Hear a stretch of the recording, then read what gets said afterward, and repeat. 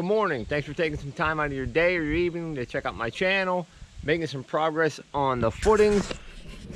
I did a video a couple days ago where I explained how this Form-A-Drain system works. If you want to check that video, I'll put a link to that right up here.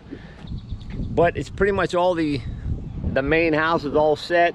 The frost wall still needs a little bit of work. My brother said that the people he ordered the Form-A-Drain from instead of sending all 8 inch couplers send a bunch of 10 inch couplers along with it. So we need some 8 inch couplers to come to finish that little section off right there. I believe he and his uh, a couple of his workers are coming here today to help finish this off. These stakes are all driven in so pretty much we're gonna get a transit set up pull these up or down to grade get them all set nice and level and hopefully we can get uh, some trucks up here and get some stone delivered this is all going to get covered with stone today. And what else? Oh, we're going to have four little footings for the post in the basement, for the beam in the basement flooring system. This frost wall, it'll have to get bulkheaded off with some plywood and some braces coming across so the, the footing concrete will come and it'll turn straight down here. Still got to get a, a couple pieces of rebar run through all this too. So we'll see how it goes today. If we can get the trucks up here, get the stone, and hopefully get Joe here with the track hoe and scoop a lot of that gravel down in here and make life a lot easier on us. All the footers have been set to grade and spaced out. Started putting a little bit of stone around here. Basically, there's a bunch of 2B stone that's going to go the whole way around the outside. And then there'll be about six inches of 2B stone covering the whole middle. And then there'll be a couple inches of 1B on top of everything, which makes it really nice and easy to grade out.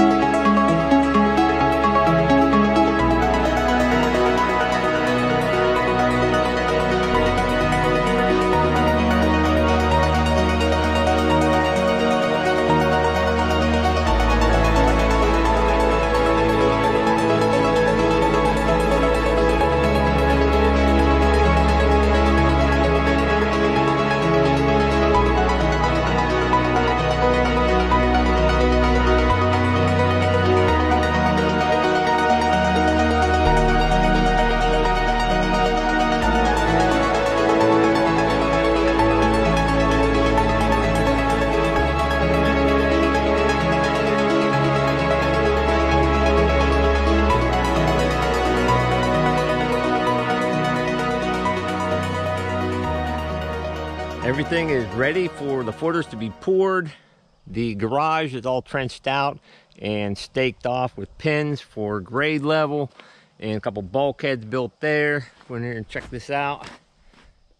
Uh, most of the stuff I learned off my brother, but the rebar needs to be close to the bottom in the bottom third of the concrete on your footers to give them the strength. The strength part, it wants to flex down, so that the rebar needs to be at the bottom.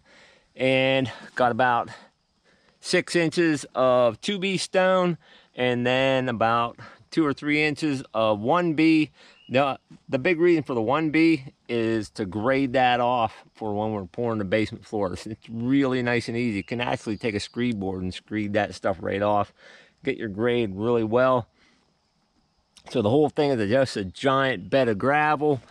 Got four posts in here ready for the beams to go uh, gravel all around the outside. That's just all 2B.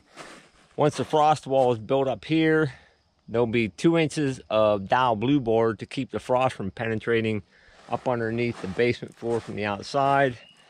Got post holes dug for the ports that'll be out there. That was done with the mini excavator. That was pretty sweet. Got a bulkhead built here to turn the concrete down here. One over here. Got the inside and the outside of the Form-A-Drain is tied together with a pipe and then there's actually two sets of pipes going on out through here. It just they go, they curve around that one post right there and go out that way. They probably have oh they have several inches of gravel over top of the pipe and then plastic over top of the pipe before it was backfilled too.